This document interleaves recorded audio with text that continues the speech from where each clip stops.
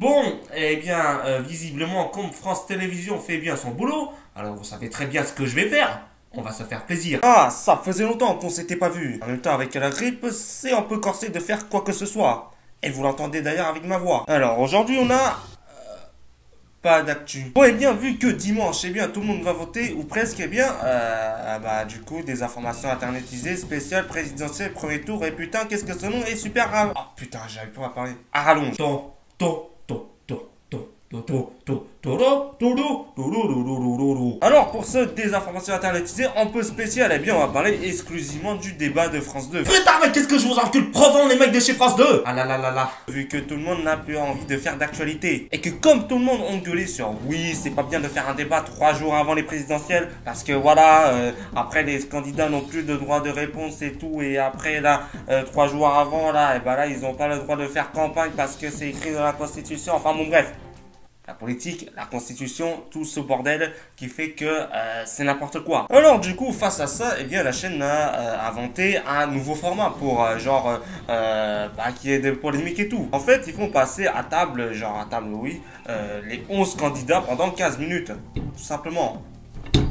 Comme ça, il y a quand même un débat avec les 11 candidats, ça fait de l'audience, etc. hein. Et c'est ainsi qu'on va traiter tous les 11 candidats. Alors, chez Mélenchon, euh, YouTube, etc., enfin bon bref, on va pas passer ça dessus, eh bien, il va prendre tous les revenus ou presque des riches. Alors en fait, vous voulez taxer à 90% les impôts sur le revenu universel euh, en appliquant la TVA à un dixième de pourcent avec un siège... Putain, mais, mais c'est quoi ces questions à, à rallonge? Eh et toi, il te paye pour dire des questions super complexes. Alors fais gaffe à toi, parce que si je gagne, eh bien, tu vas voir comment ça va être la rue. Et bon, après, s'il y a un truc genre euh, Panama Papère, hein, comme le dit bien BFM TV, eh bien, faut pas venir se plaindre s'il y a aucun sou dans les caisses. Chez Nathalie Arthaud, eh bien, on veut euh, contrôler toutes les entreprises avec euh, ces mecs costard cravate, etc. Moi j'en ai marre des gros mecs à gros ventes, costard, cravate, iPhone 8, alcool, GTA 5. Hein Alors si je gagne, moi je vais leur mettre à leur place. Moi je vais les enculer profond les mecs costard, cravate. Parce que à part eux, il y a, il y a tout le monde au chômage. N'est-ce pas les téléspectateurs dans leurs apparts de 1890 Et bon, après, faut pas oublier le terrorisme, l'état d'urgence, etc. Parce que bon, après, le travail, y a pas que ça non plus, hein. Et donc euh, vous croyez que l'état d'urgence, euh, ça sert à rien? Genre il y avait un attentat qui a été déjoué euh, grâce à ça. Euh...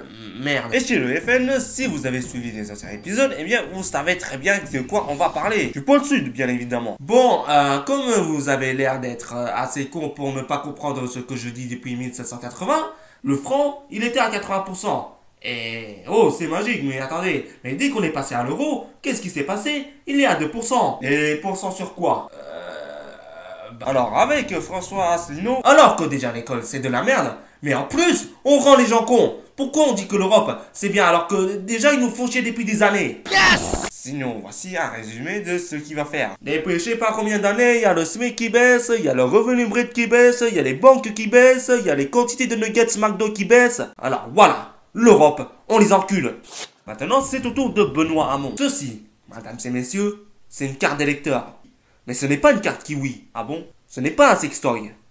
Ce n'est pas de la vodka, ah bon Et pour ce seul candidat de gauche, eh bien, on va faire des dépenses, à peu près partout. Alors du coup, on va dépenser dans l'enseignement supérieur, dans le terreau, dans l'industrie, on veut financer à 100 000 milliards d'euros le projet de merde dans la petite ville locale de deux habitants. Alors, avec du pognon, eh bien, on a un objet très poétique. Oh là là, cette statue, c'était un enfant très très soyeux qui me l'avait amené le 19 juillet 2000.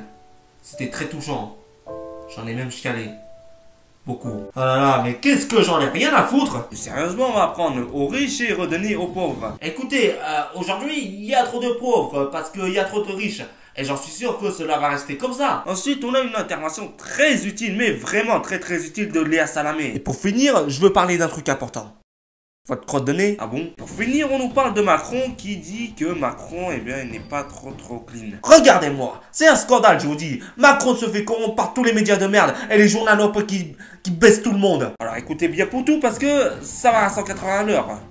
Toujours. Et moi, je pense que parler du CAC 40 qui baisse une inflation au droit de la sécu. En fait, ça parle d'argent, d'argent, d'argent et d'argent. Si seulement l'argent n'était pas présent dans notre société, ça serait vraiment pas un problème. Moi, j'en ai marre des gros mecs à gros ventes, costard, cravate, iPhone 8, alcool, GTA 5, hein? Attends, attends, mais, mais c'est le même texte que Arto. Ensuite, on a... Oh non, mais attendez, mais on va pas parler d'attentats à chaque épisode, c'est pas possible. Et maintenant, on a Emmanuel Macron. Et oui, il parle de maisonnettes, un peu d'argent, mais surtout d'éducation. Moi, je pense que faire 1 plus 1 et lire le loup et le renard, c'est apport. Ah, ah merde. C'est vrai aussi qu'il y a le taux de chômage d'orientation à, à, régler. Avec surtout le primaire. Bon, faudrait peut-être pas oublier le lycée parce que bon, euh, taux de chômage, etc. etc. Hein, voilà. Alors, Cheminade est lui très poétique aussi. Voire un peu trop. Regardez-moi, j'ai fait lire du Victor Hugo à un tueur en série. Et je l'ai guéri. Écoutez. En gros, pour lui, du Victor Hugo, eh bien, ça peut faire arrêter la délinquance. Et chez la salle, on va à deux alors, alors, ce que je vais faire, c'est imposer cette loi. Avec aussi quelques pics de crise. Je vois des pauvres tous les jours dans la rue. Juste parce que c'est fait de prête mais surtout, eh bien, il veut qu'on retourne à la Cambrousse. Alors en fait, vous voulez que les habitants repartent à la Cambrousse alors que ça sert à que dalle. Et ensuite, le dernier candidat, Fillon, Pénélope, vous voyez le délire Il veut tout simplement arrêter de faire prendre la population des immigrés pour pas ce qu'ils sont. Enfin, je sais pas si cette phrase a déjà un sens. Les Arabes, il faut arrêter de les enculer. Même si on sait que personne ne va m'écouter. Et pour conclure, eh bien, ces interventions, etc., eh bien, euh, je sais pas pourquoi, eh bien, les journalistes, eh bien, ils ont, eh bien, j'aime bien ce mot-là, eh bien, ils leur ont affiché une photo de leur eux, hein, tout simplement, leur personne, quoi, dans les années 80-90. Euh, voilà, histoire de, je sais pas, de montrer que, voilà, je sais pas, je sais pas. Et enfin, pour terminer, eh bien, on a eu une petite conclusion où les candidats ont pu parler encore pendant euh, à peu près euh, deux minutes et demie. Et euh, ici, voilà, je sais plus quelle est la phrase. On a deux types de candidats. Ceux qui sont très poétiques. Soyons heureux, c'est le principal. Vivons avec la nature. Mais putain, c'est quoi ce texte? Mais qu'est-ce que j'en ai à, foutre? Et ceux qui crachent sur les anciens. Les anciens, ils en ont chié. Beaucoup. Et avec moi, promis juré, on va retrouver une belle France, comme on l'aime.